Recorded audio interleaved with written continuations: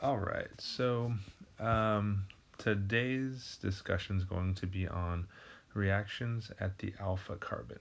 So um, we've been doing a lot of carbonyl chemistry, and where we have a nucleophile attack the carbonyl carbon.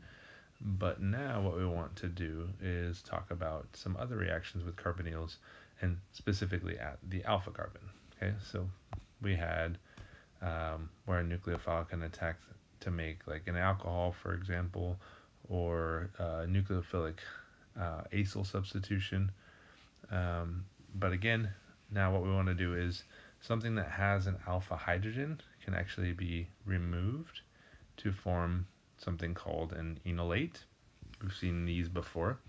Um, and this enolate can, it is electron rich, and so therefore it can react with an electron deficient species or an electrophile. And there you go. You pretty much have something um, to work with, a new nucleophile. So notice the top two uh, are different in that one of them has no leaving group um, and the other one does have a leaving group. Now, the alpha carbon chemistry doesn't really have an, a, a leaving group, but it does have an acidic proton. Okay, so remember, let's go back to keto-enol uh, tautomerization. If we have a ketone in the in an acidic or basic medium, we can have this transformation as as shown. It's an equilibrium, so you can, for example, protonate that oxygen of the carbonyl, and that gives you an oxonium intermediate. Now that positive charge on the oxygen again makes that carbon very electrophilic, but it also affects the surrounding environment. So it actually makes the alpha hydrogen very uh, acidic, and so basic water can come along and remove that, and then you get your enol, and that goes back and forth, right? Uh, obviously, there's going to be a it's not going to be 50-50 mixture of the keto uh, ketone and the enol but um, there is varying percentages depending on what's what kind of environment we're working with. In the base, uh, in the presence of base, we have this structure where we have just the hydroxide, for example, come remove that acidic proton, and then we end up with our enolate. So here's an example um, that's actually it's pretty cool. It's it's a biological um, example just to show you it's i mean this i think i mentioned in one of the previous videos how much um, biochemistry is going to rely on carbonyl chemistry. And so um, there's another example. Glyceraldehyde 3 phosphate uh, as well it, it can undergo that keto-enol tautomerization to form dihydroxyacetone phosphate. And this transformation is important because dihydroxyacetone phosphate is a an important intermediate in a variety of metabolic pathways for both plants and animals. I think the plant one is um, like a process of uh, in the absence of light. So you can check that out on your own. But let's uh, move forward like before. So we have a carbonyl group, right? So we want to protonate that carbonyl oxygen to form an oxonium. That and makes that adjacent proton acidic. We can remove that and that uh, creates the enol with the carbon new carbon carbon double bond formed and then um, now we have what you can see is almost like a, a double enol. We have an, uh, an OH on one side uh, the top and the bottom. So if you think about the equilibrium mechanism you can quickly move on to dihydroxyacetone phosphate just use the uh, just go backwards on that equilibrium and um, do the other side though, right? So um, the lone pair from the OH on the top can create that carbon oxygen double bond to form uh, and and they kick those pi electrons out, and that results in the protonation of that carbon, and we have a new uh, oxonium intermediate, and then just upon deprotonation of that uh, hydrogen on the oxygen, we get a neutral species, which is the desired product in the end, shown at the top. And so, um, again, this is a very common mechanism, and there are a variety of pathways that it's gonna you're gonna see that in biochem for sure. So keep an eye on the mechanism, uh, and also make sure that you're familiar with, um, or you have the ability to just jump straight to it. That's gonna take some practice though.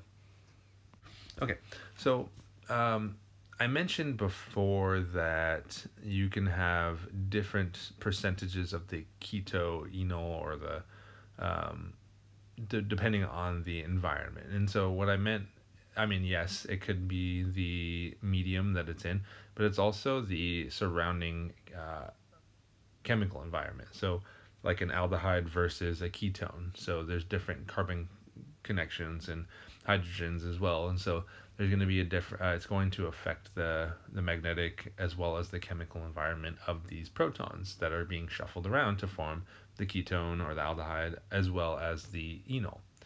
And so so here are what I'm, I'm creating is a, as a generic list of a uh, variety of carbonyl compounds with um, different enol forms. And so uh, what we're going to what we want to focus on when we're looking at this list is the different structures. So uh, you can imagine um, the aldehyde, the acetaldehyde on the top. Just you can apply that uh, that structure, the, the the equilibrium to a generic aldehyde, or the ketone below acetone, or the diester, or um, any of these structures, and we can apply these generically to uh, a variety of R groups.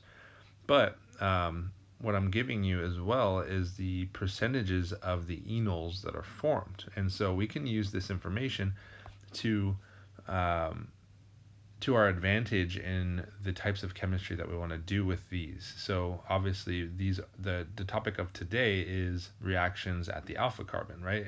It's not just the formation of an enol or an enolate, it's what are we going to do with that after.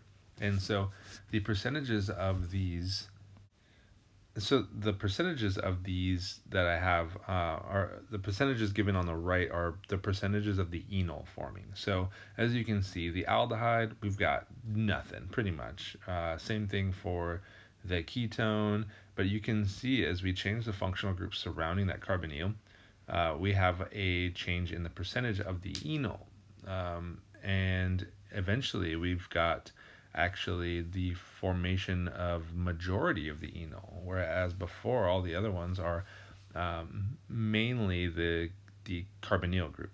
And so this is the information that's going to be extremely useful to us because we can see that this di ketone on the bottom or the the combination of the esters and carbon the different two carbonyl groups in there we can see that those are forming a higher percentage of enols and this is going to be helpful for us to functionalize this carbon containing compound even further. And so um, what you can what you see here is that the beta dicarbonyl compound may actually uh, the dominant species might actually be the enol. So here we have 76% and um, this is because of the ability to undergo intramolecular hydrogen bonding. And if you look at the pKa's on the right, 17, 20, 13, 11, and 9, you can see that they're decreasing as the percentage of the enol forms. And that's no coincidence. Um, in order for that enol to form, we have to be able to remove that proton, right? And so um, if it's more acidic, it's going to be easier to form uh, the enol. And it's going to uh, be just inherently a more reactive compound. So what can we do with these enols though? Well, once we have these enols, as I mentioned before, we have an electron-rich species, but the nucleophilic site it would actually be, if we just ignore on this enol structure, if we ignore the OH, this just looks like a normal uh, alkene, right? And as we know from last semester, alkenes are nucleophiles. And so they can react with electrophiles. And that's exactly what these guys do. If you can imagine the lone pair on the oxygen coming down, creating that carbon oxygen double bond, we kick off that electron or that pair of electrons, and those that nucleophilic carbon is now attacking the uh, E plus or the electrophile. And so when it attacks there, we have an oxonium intermediate, obviously, and then with the loss of that proton, we have a new carbonyl compound, or a new ketone in this case, with a hydrogen substituted with a new electrophile.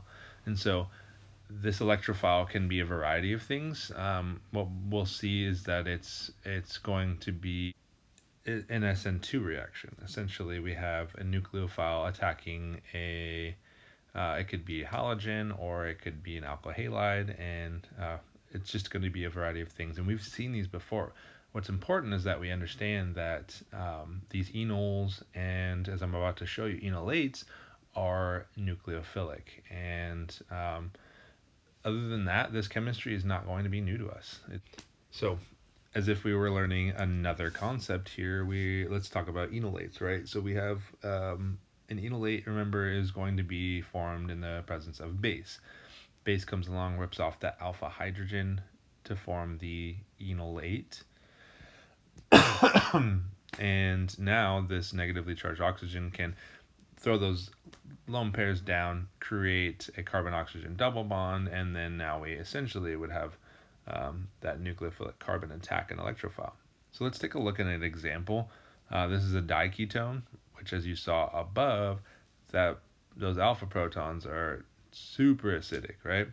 Um, nine pKa of nine, and so we form this enolate. And the reason why this particular ketone or diketone is actually more acidic than all the rest is because it's got that um, the enolate formed on the right side, but we also have a resonance structure where the enolate is formed on the left side. And so that gives it the pKa of 9 because the stability of the uh, conjugate base is better because we have two resonance structures or technically it's three if we drew the structure the resonance structure that contained the negative charge on the alpha carbon but i omitted that one uh, just because we're focusing on the enolates right now. As you can see, the bottom has two resonance structures that are in the enolate form, and then the top only has one resonance structure in the enolate form. And remember, uh, resonance instills stability in a conjugate base, and therefore more resonance structures that are reasonable is going to result in a more acidic uh, proton in the acid or the conjugate acid if you want wanted to work with the base. So um, a variety of compounds are going to react either exactly the same and or as this in terms of removal of an alpha proton. Um, so carbonyls like amides and esters, very analogous, right? Makes sense. Um, but one that's not very, not exactly analogous or not exactly straightforward in understanding the similarities is the cyano group, right? it's still considered an alpha carbon because we have the removal of that proton that can create a resonance structure within that carbon nitrogen uh, multiple bond. Uh, the pKa of the ester, however, is 25, while the pKa of the amide is 30, and the pKa of the alpha proton on the nitrile group is 25. The ester and the amide uh, pKa's are a lot higher than other um, carbonyl groups because remember these esters and amides also have re- competing resonance structures on the nitrogen or oxygen side. So the lone pair on the the am- the nitrogen and the amide can create a resonance structure just on its own. So that's competing and that's what's ultimately affecting the acidity of the other proton. All right, so let's check out some examples on this topic. So which is the most acidic proton? So we've got a carbonyl or a ketone, we got a nitrile, we got an ester, and we got a another ketone.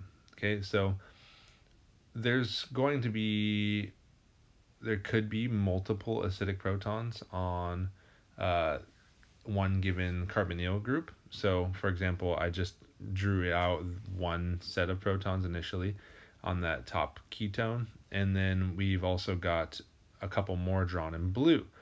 And so that's what we're going to have to keep an eye out for is the opportunity to remove more than one type of proton. And so we'll get into this in a little bit. Um, when we talk about unsymmetrical carbonyl groups.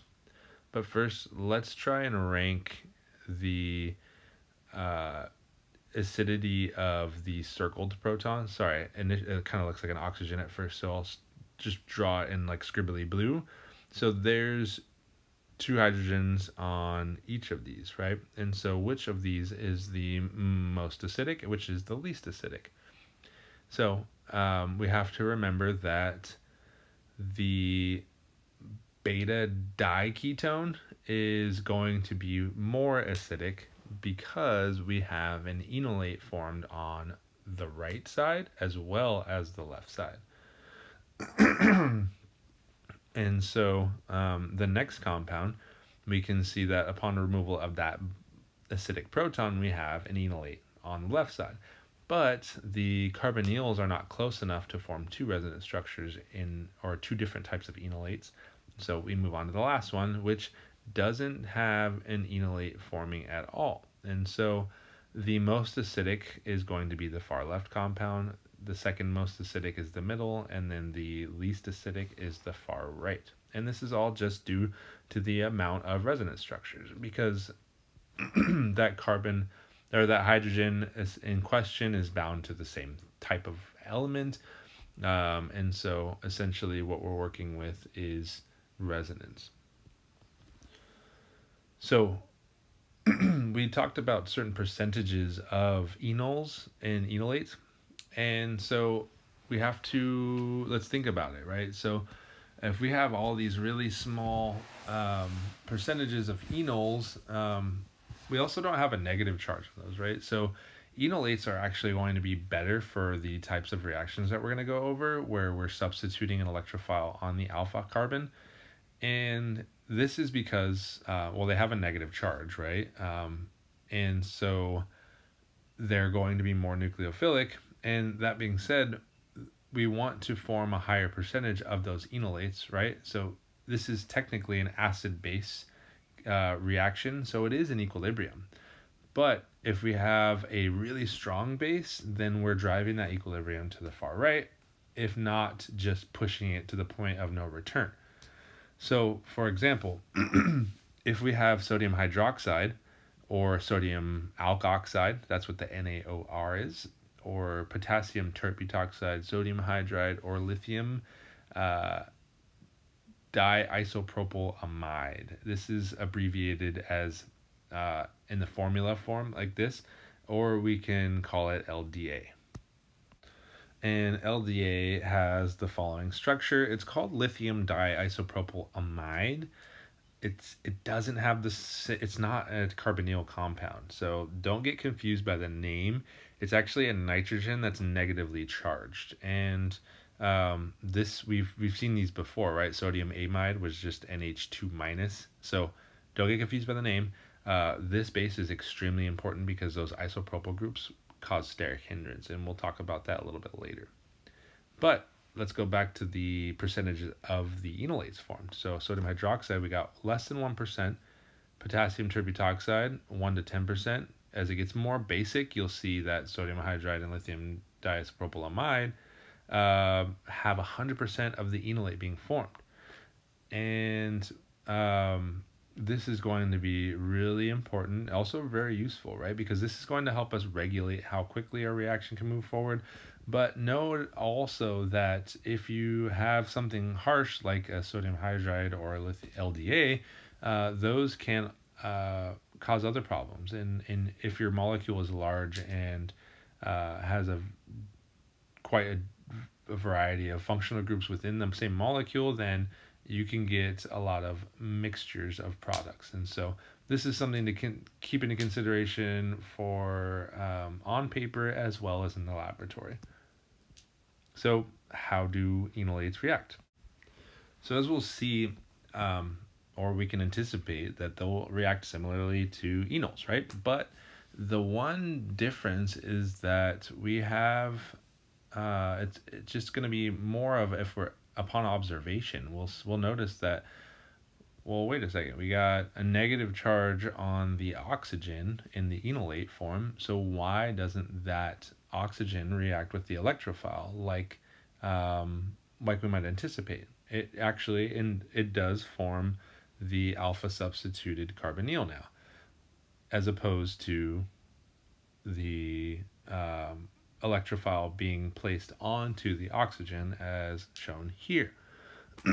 so this is more something that we just need to know, but also think about uh, if we had a resonant, the negative charge on that carbon, carbon is more nucleophilic than oxygen because it's less electronegative, so that carbanion is just pissed off and he just wants to attack something, right?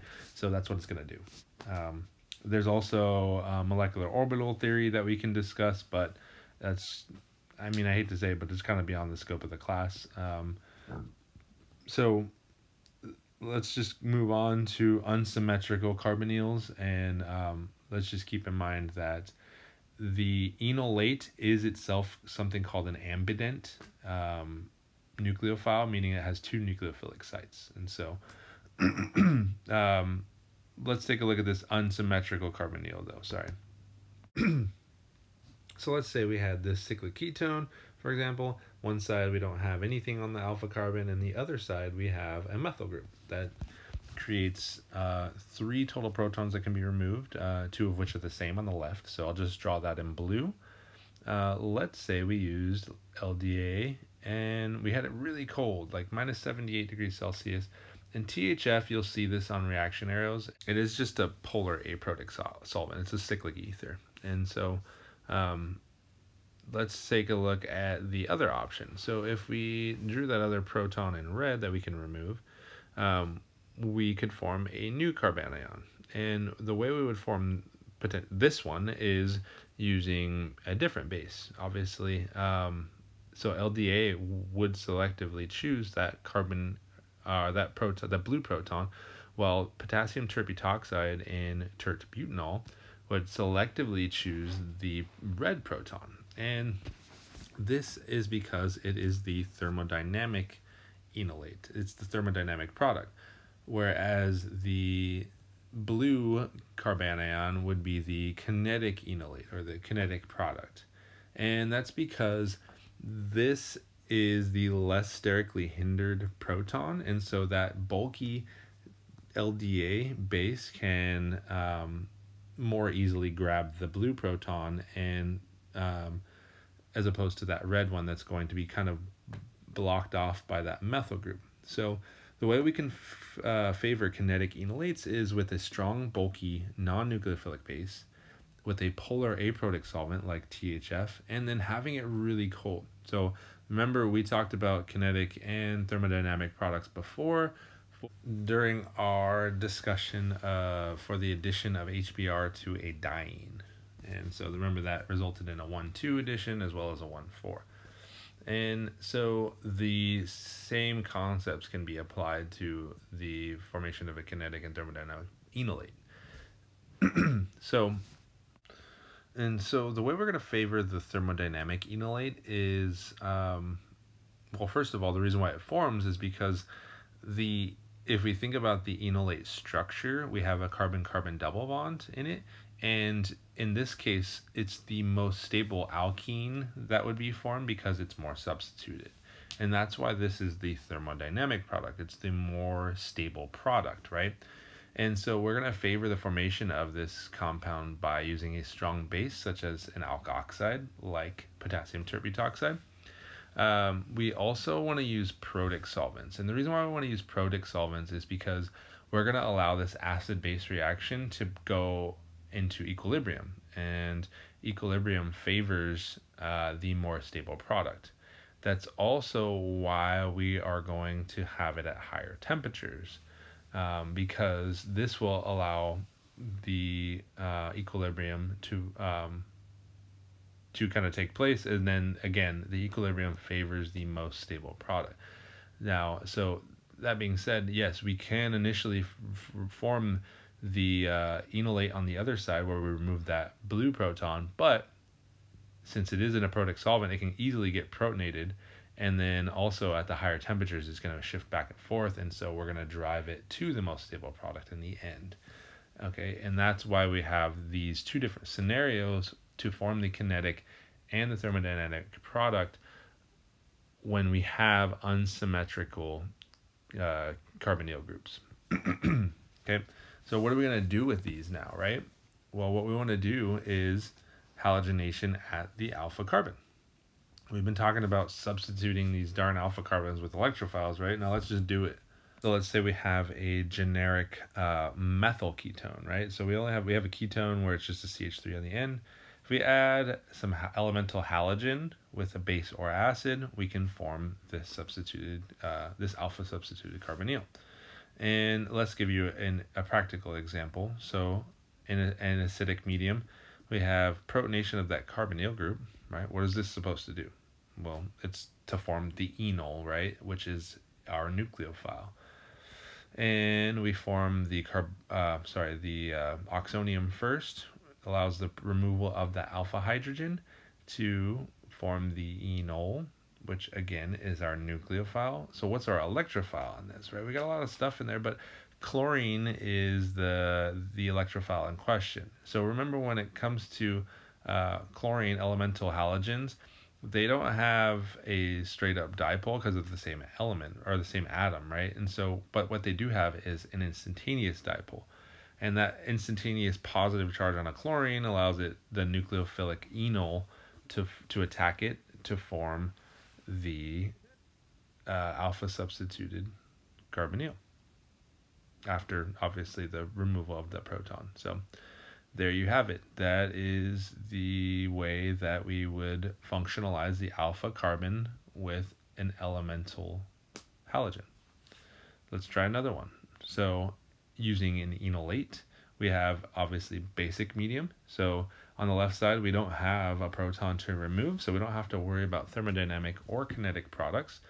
We just remove the acidic proton at the alpha position this forms an enolate, but again, we can just draw it in short form as the uh, carbanion because that's really what's doing the work. Just for uh, simplicity for explanation, we have the attack of that bromine because of the instantaneous dipole that formed. But let's say we had additional bromine present and as well as additional base.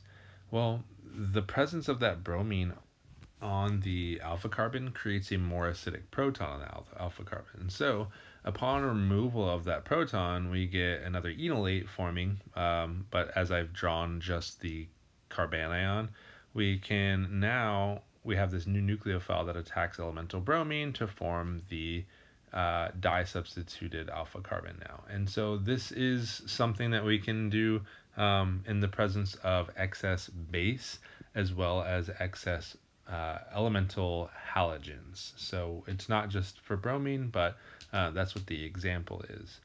So, what if we had a methyl ketone? So a ketone with uh, just a CH3 on the end.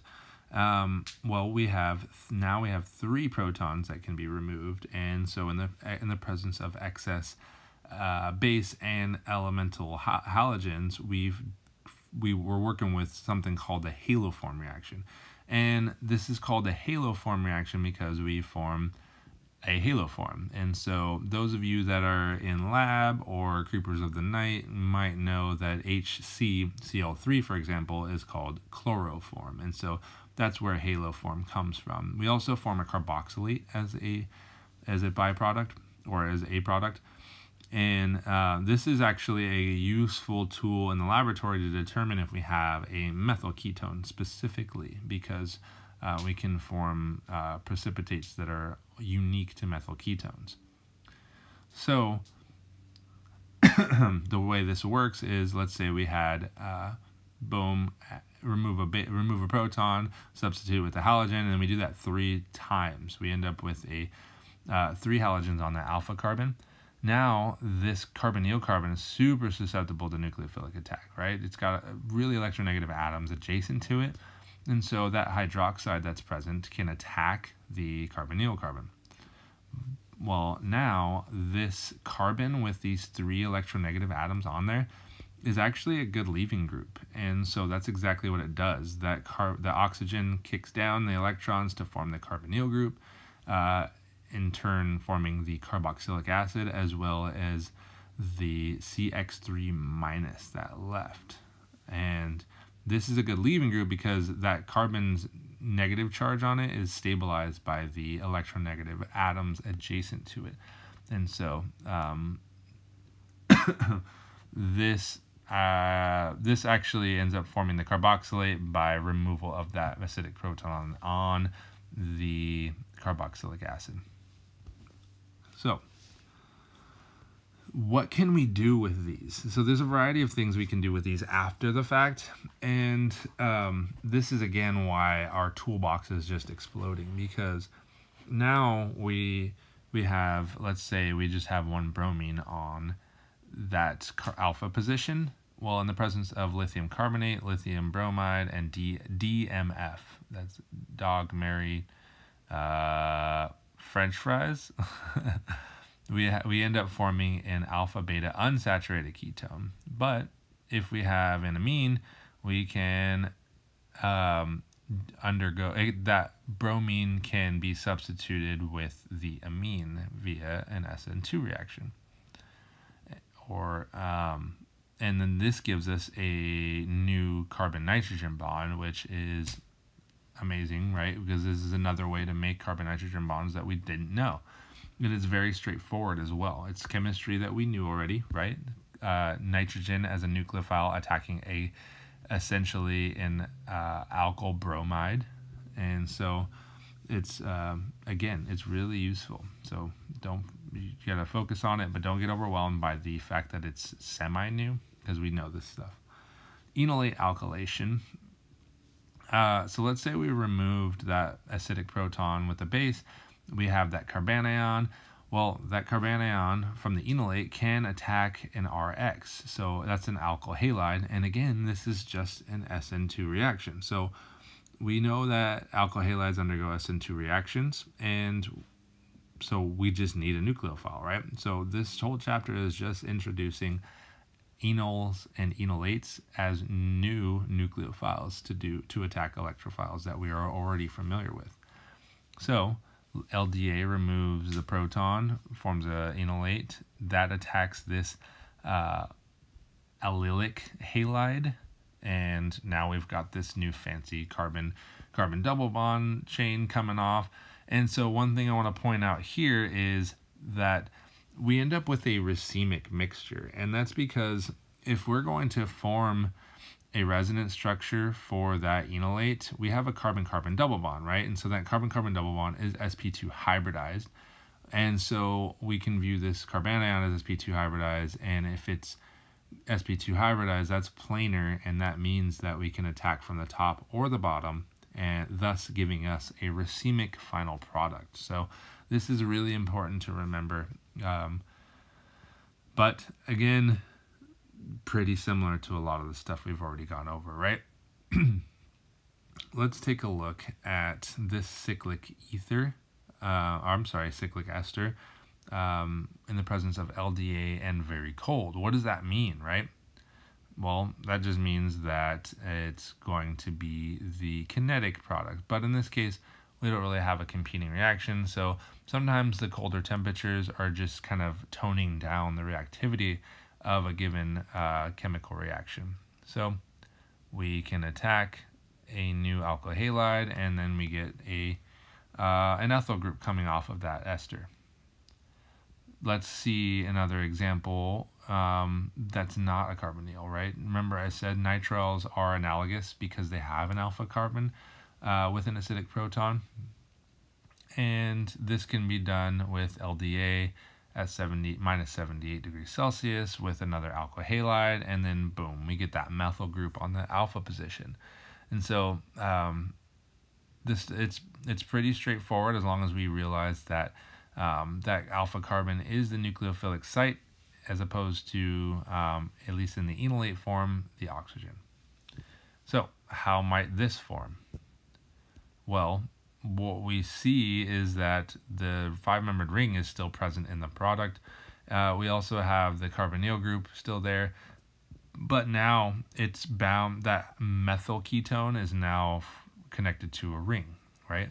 So how might we do this? Well, um, first of all, we want to point out that we do have two acidic protons, right?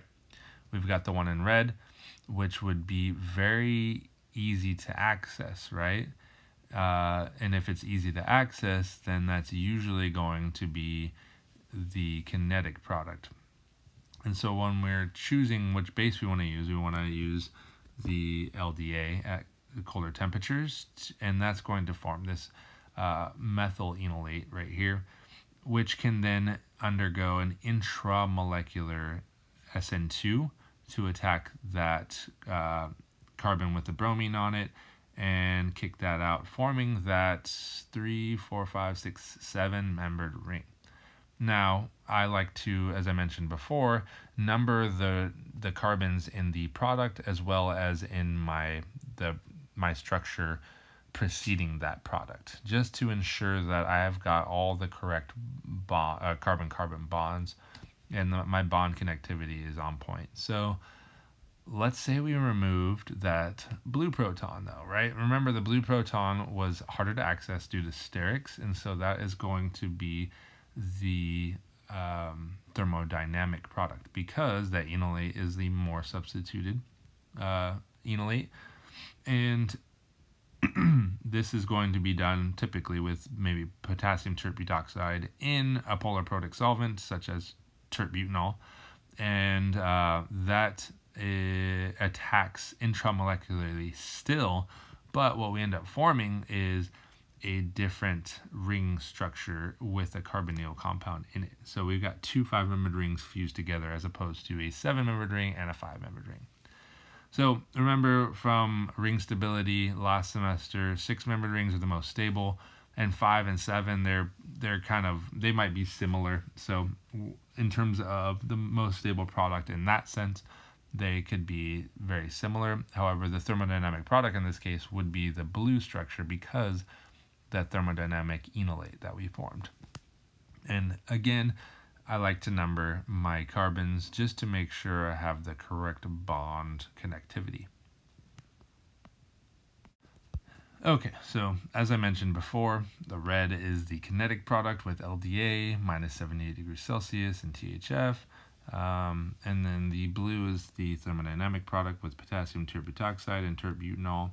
And uh, so one thing I want to mention, THF, uh, oh, minus 78 degrees Celsius. I told you guys this is achieved by combining acetone with dry ice. And then also the potassium tert butoxide in tert butanol is not a mistake, right? So you wouldn't want to use potassium tert butoxide in methanol because you have the possibility of forming methoxide instead. So you usually put the alkoxide with its conjugate acid as the solvent.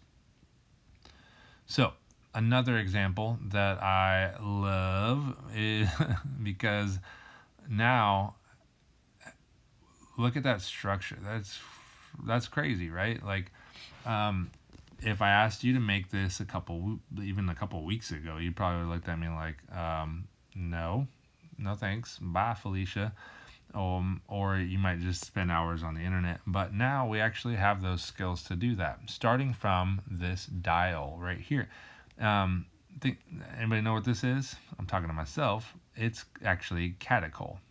No, I love this as a starting material because um, it's really it's I don't know it makes really cool compounds. So naturally it occurs in some fruits and vegetables, but uh, catechol can be derivatized to form urushiol, which is the substance that mm, we all know and love to be found in poison oak, right?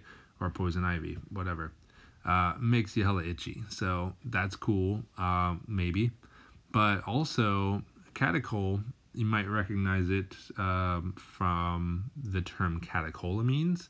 Uh, maybe you haven't heard of that, maybe you have, but I know you've definitely heard of neurotransmitters uh, such as dopamine, uh, epinephrine, and norepinephrine. And so those are all catecholamines, and they have, again, similar structures to like meth, um, but also they have this catechol uh, functional group in there as well. And so that's why I like this as a, as a starting material. Um, makes some pretty cool things. Um, I guess arguably the substance drawn above could be considered a catecholamine um, because it does have very similar structure to um, meth and uh, or like those neurotransmitters, those catecholamines. uh, take a look at them if you want. Now, the structure I gave you is actually uh, MDPV, methylene uh, dioxypyrovalerone, and this is a cathinone derivative. It's actually like a dopamine uh, reuptake inhibitor, and uh, it's bath salts. Remember, I told you guys we were gonna learn how to make these. People eating other people's faces off when they're taking these things. Um, bath salts were actually sold in liquor stores as like Epsom salt. They were like literally, yeah, this is bath salt. But like, like I mentioned before, who goes to a liquor store or a gas station to buy bath salts? Like, it was drugs. It's kind of silly, but um, so uh, people were taking these drugs, eating people's faces off, and boom, we're about to learn how to make it on paper. Don't do this at home. So we know that uh, a diol in the presence of a ketone and an acid forms this acetal, right? Okay, so now we have a benzene ring electrophilic aromatic substitution with this acid chloride and aluminum chloride gives us this product here. Okay, now we have a methyl ketone. What's up? What did we just learn today? Throw a strong base in there like sodium hydride, we form the enolate. Enolate attacks an alkyl halide. We just extended that carbon chain by three carbons. We fancy now, right? Okay, so you can also probably just use a longer acid chloride, but it depends on the whatever. I mean, we want to we want to do synthetic chemistry, right? If I limited your the scope of the reagents, then maybe you can only use the three carbon chain, right? So if we did that, okay, now we've got acetic acid with bromine, right? This is our acid acidic medium and we form the enol, which attacks the elemental bromine to form that alpha substituted carbonyl. And now this bromine can be attacked, or this carbon can be attacked by this amine, this nitrogen nucleophile. That gives us our final product. And um, again, works on paper, right? Um, definitely don't do that. Don't even think about it. Just, just have fun on paper malonic ester synthesis.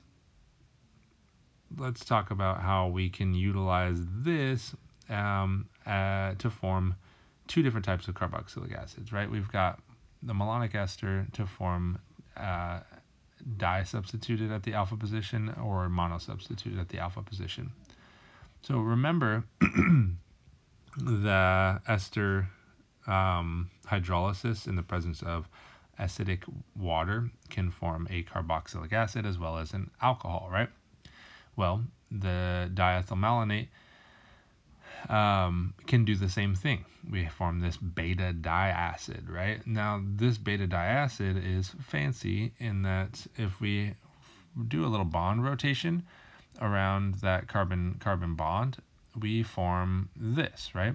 I've drawn this suggestively to create what looks like a six-membered ring and now we can shuffle electrons as well as atoms around. And these red arrows are allowing us to create um, a new enol and as well as carbon dioxide. So this carbon dioxide pieces out, we form this enol, and now this enol can undergo tautomerization to form the carboxylic acid product. So excuse me, that's basically we need to know that in order to see how we're going to use these malonic esters in order to form uh, carb new carbon-carbon bonds. So how, for example, if we had this particular species here, we have a, uh, we have two carboxylic acids adjacent to one another? We also have two carboxylic acids adjacent to one another on this one. And then we have a carboxylic acid next to another carbonyl. Oh, and carboxylic acid next to another carbonyl for that one. So notice above here I said this is a beta diacid, right? So this this is the alpha position, that's the beta position. So we have to have two carbonyls adjacent to one another in this sense. They have to be that close. We have to be beta to one another. This will allow us to do the decarboxylation, which is the loss of that CO2. And uh, otherwise, we can't do it. So let's redraw this structure here. Remember suggesting the six-membered ring here because, again, six-membered rings are super stable. And this, this transition state will allow for the shuffling of electrons forming the enol as well as the carbox or the the carbon dioxide. Sorry, that leaves. So now we formed a new carboxylic acid in the end. This one won't move forward because this carbonyl is gamma to the other carbonyl. And this one is beta as well. So this one will actually work. We can short form just jump straight to the new ketone um, and this is even further away. So that one's not going to work in that um, particular decarboxylation step. So another way it can be drawn is CH2, CO2, ET in parentheses, subscript 2.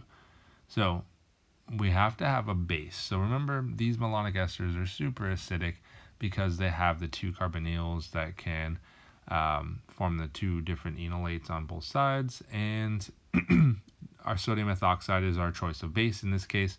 And then we have um, our enolate formed, or the carbanion. Excuse me.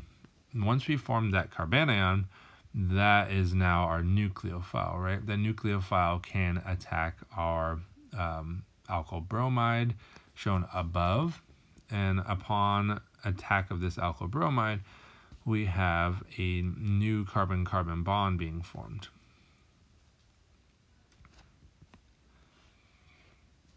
And this is the structure we have here. So upon the addition of H3O plus as well as heat, we get hydrolysis of those esters to form the beta diacid. And then the heat drives the reaction forward to uh, for, force the decarboxylation. And we end up with the carboxylic acid with the new uh, cyclohexane addition on the end of it. So again, I like to check my bond connectivity. So by numbering the um, or in this case, not numbering, but just noting the carbon-carbon bonds. So I highlighted those all in red just to see where they were and also what came off, that CO2 came off. And so let's take a look at another example. What if we had two additions of sodium ethoxide as well as two additions of uh, methyl bromide? So now what's going to happen is we are actually going to remove a proton, substitute with the methyl group, and then um, substitute with a methyl group again upon the addition of that base because we still have another prot proton there and that acidic proton can be re removed as well and then the reaction can proceed um, as usual. And so this is the structure drawn in blue. That's where we would get the carboxylic acid with two R groups on that alpha position. We just have to do the substitution twice. Add base, add the alkyl halide, add base, add the alkyl halide, and um, we can actually get two different groups if we wanted as well. So this one is super fun. I like this one. Uh, the malonic ester uh, synthesis with a an alkyl halide, but it's uh, an alkyl halide. It's two of them within the same molecule, right? So, so Let's the question happens, would right? be, um, what happens if you do a malonic ester synthesis with this with this alkyl halide? So we want to start with malonic ester. Drawn here.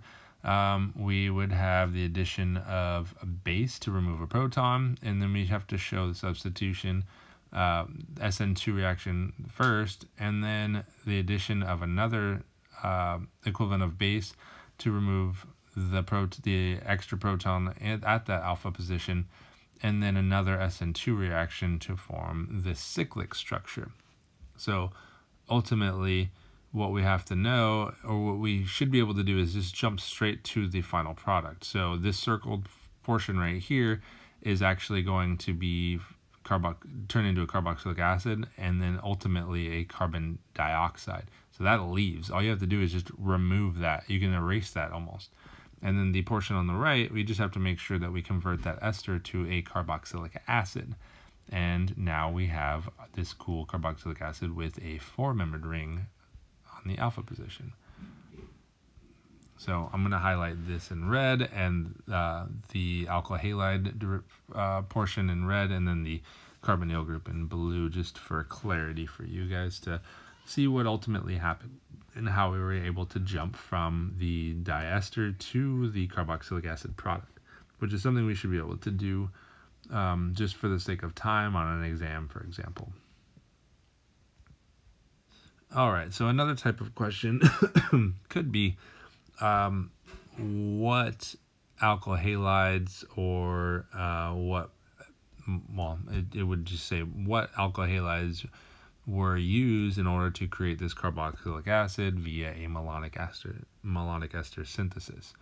So what we want to do is work our way backwards. So we know that the alpha carbon is where the substitution occurred and since we have two alkyl groups on the alpha carbon, we highlight those in blue and red and then we convert those into alkyl halides. And then the green portion that's left behind is the carboxylic acid. That's what the malonic ester, uh, that's, that's from the malonic ester. So draw it out, add an X on the end, and then the other portion is the malonic ester. And there you go. That's the easy way to work your way backward.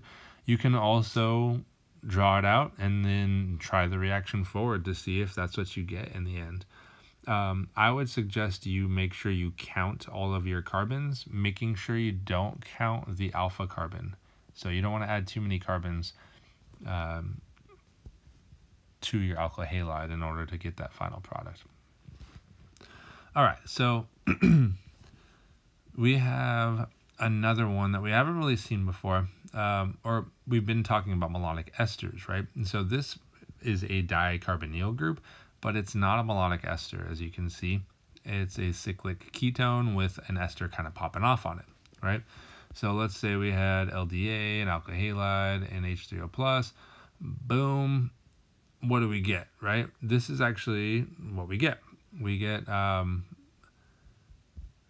the addition of that alkyl group from the alkyl halide to the alpha position and um,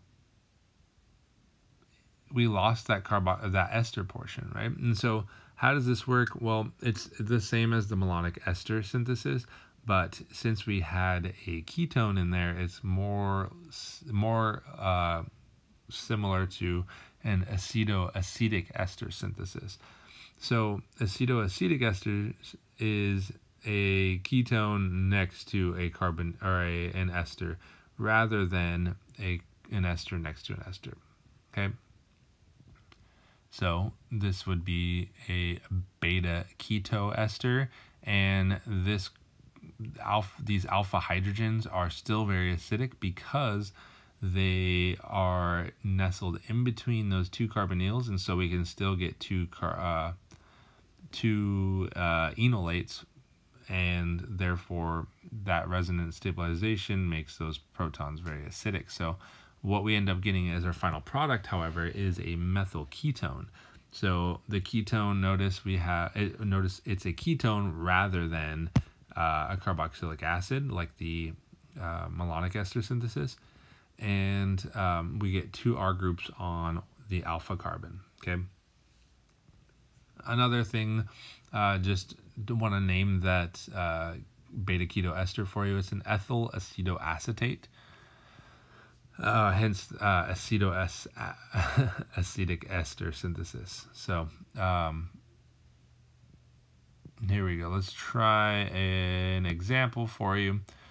We have this aceto, uh, this ethyl acetoacetate here, and we have these acidic protons that we're going to draw out for you. Now we want to remove those uh, with the base and so in this case I'll choose sodium ethoxide and let's choose an alkyl halide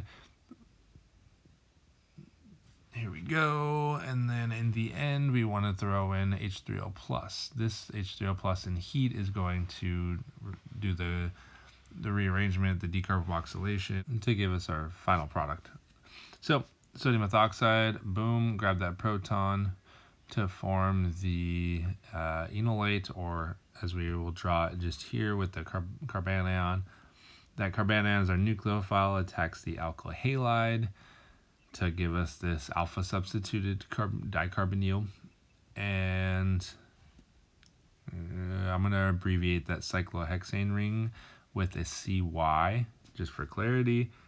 Now we can add in the H3O plus in heat that removes essentially the, um, the red portion here and then we're left with the blue portion in the end and that is our final product as well as CO2.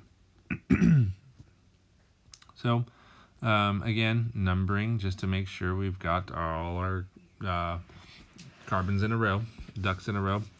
And um, just to double check, it doesn't take long, but it, it, it, can be the difference between a wrong and a right answer. So the next portion uh, or the next example would be, uh, let's say you want to use ethyl acetoacetate in order to form a given product. Okay, so what are we starting with in order to make this interesting looking ketone, right? So remember acetoacetic ester, or uh, yeah, if we're using ethyl acetoacetate, we know that the red dots came from that, and we know that we have to add the blue dots and the super cool lime green dots uh, uh, in the form of an alkyl halide. And so I would just dot those out, add an X to it, and there you go. that's that's how I would do my retrosynthetic analysis on a given carbonyl group to form it from um, either the malonic ester or the uh, acetoacetic ester synthesis. Now, this guy right here, can we do that with this synthesis? No, we can't because if we look back to the alkyl halide that we have to form, it's a it's a it's a bromo or it could be it's a halobenzene, right? Halobenzene, that halogen is attached to an sp2 hybridized carbon, and we cannot do SN2 reactions with SN2 or with sp2 uh, carbons, right? And so that's dead. That means we cannot form it like that. We'd have to find another way to do it. All right, so just to summarize the reactions we went over today, we did, uh, again, substitution at the alpha carbon. Uh, if it's a methyl ketone, we can uh, add a, uh, a halogen with elemental halogens as well as acidic medium. If we had it in basic medium, excess base and halogen and results in a haloform reaction to form a carboxylate as well as a haloform. Um, if we had a longer chain on that ketone, we can either we can multiply substitute that alpha position. Um, and if we have that alpha position substituted with a halogen, we can um, do an SN2 reaction to add a new nucleophile there. And we saw that a number of different ways. Um, if we have that, um, we can also add the lithium bromide and the lithium carbonate and DMF to form the alpha beta unsaturated ketone. Uh, the methyl ketone with base and an alkyl halide to form the new carbon-carbon bond at the alpha position. We also went over malonic ester synthesis as well as acetoacetic ester synthesis to form new carboxylic acids as well as new ketones respectively. And so um, these reactions the mechanism is kind of weird at first. I think it's super fun because I love kind of doing the little swoopty swoop, little dosey do with electrons to form that CO2 and the new carboxylic acid or ketone. Um, we should be able to jump straight to that final reaction though. And so I think uh, that's all she wrote, y'all. Um, chapter 21 homework 32 35 37 41 43 45 46 47 49 53 56 57 59 61 63 da, da, ba, ba, ba, ba, ba, ba, ba. that's it. Um, uh, obviously you can do more of these if you want, but it is, I mean, it's the practice is, I'm gonna leave that up to you guys. Um, I don't really have a good joke for today. Um, kind of bummed. Like I didn't get you. I gave you. I came in with the Kool Aid Man and Britney Spears last time. Um, I got nothing. I got bath salts this time. So I mean, there you go. And also, I could leave you with a little photo and video. Dad, look Whoa. Cruising.